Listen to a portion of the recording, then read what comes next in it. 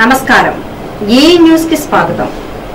తూర్పుగోదావరి జిల్లా ఎంఆర్పీఎస్ విస్తృత స్థాయి సమావేశంలో రాజమహేంద్రవరం రూరల్ బొమ్మూరు గ్రామంలో జిల్లా మాజీ ఇన్ఛార్జ్ ముమ్మడవరపు చినసుబ్బారావు మాదిగా ఆధ్వర్యంలో జిల్లా సమావేశం జరిగింది. ముఖ్య అతిథిగా ఎంఆర్పీఎస్ వ్యవస్థాపక అధ్యక్షుడు మందకృష్ణ మాదిగా విచ్చేశారు. వారు మాట్లాడుతూ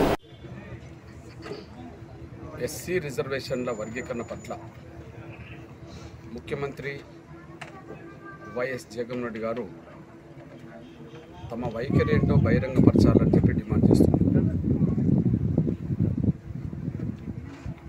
మా వంశంలో ఒకసారి మాట ఇస్తే మడమ తిప్పేది లేదు మాట తప్పేది లేదని మీరు పదే పదే ఎన్నికలకు ముందు మాట్లాడిన సందర్భాలు ఉన్నాయి. నిజంగా మడమ తిప్పని మాట తప్పని వంశమే మీదవుతే వర్గీకరణ పట్ల మౌనంగా ఉండాల్సిన అవసరం ఏముందని చెప్పి సూటిగా జగన్ రెడ్డి గారిని మేము ప్రశ్నిస్తున్నాం. షెడ్యూల్ కులాల రిజర్వేషన్ల వర్గీకరణ విషయంలో స్వర్గీయ వైఎస్ రాజశేఖర్ గారు వర్గీకరణకు అనుకూలంగా ఎన్నో సందర్భాల్లో తన అభిప్రాయం వ్యక్తం చేశారు. అసెంబ్లీ తీర్మానం చేశాడు.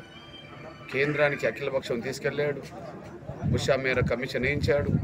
కమిషన్ రిపోర్ట్ అమలు కోసం తను చేయాల్సిన ప్రయత్నాలు చేశాడు.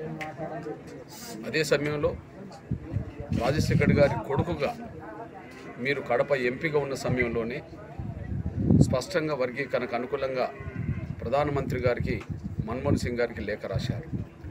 అదే సమయంలో ఇడుపులపాయలో జరిగిన వైఎస్ఆర్సీపీ మొదటి ప్లీనర్ సమావేశంలో వర్గీకరణకు అనుకూలంగా తీర్మానం చేశారు. కేంద్ర అప్పటి న్యాయశాఖ మంత్రి వీరప్ప గారికి వర్గీకరణ అవసరాన్ని దృష్టి పెట్టుకొని మేమిచ్చిన వినతి పత్రం మీద మీరు సంతకం పెట్టారు.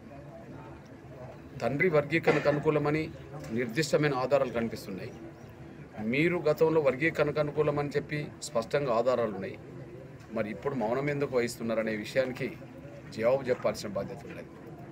ఈ విషయంలో తండ్రి అడుగుదాజల్లో కాకుండా మీరు ఇచ్చిన మాట ప్రకారం కాకుండా గతంలో మీరు ముఖ్యమంత్రి అయిన తర్వాత శాసనసభలో మాట్లాడుతూ వర్గీకరణ రాజ్యాంగ విరుద్ధమని చంద్రబాబు నాయుడు గారు వర్గీకరణ చేసి మాలమాదిగలు చీల్చిండని చెప్పి మీరు మీరు గతంలో మాట్లాడిన నిర్ణయాలు తీసుకున్న దానికి విరుద్ధంగా మీరు మాట్లాడారు.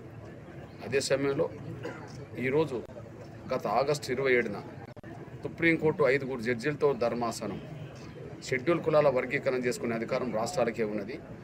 గతంలో వర్గీకరణ రద్దు కావడం అనేది దురదృష్టకరం. అదే సమయంలో ఆ తీర్పును పునఃసమీక్షించాలని చెప్పి చీఫ్ జస్టిస్ గారికి సుప్రీంకోర్టు ఐదుగురు జడ్జీలు మళ్ళీ సిఫార్సు చేయడం జరిగింది.